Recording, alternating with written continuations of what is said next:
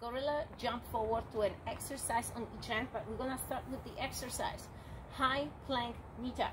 So you're gonna start in a high plank position. You're gonna perform slow knee tuck.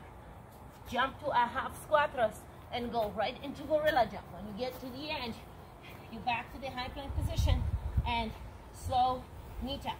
So regular knee tuck on each leg. You're gonna turn around and repeat everything again.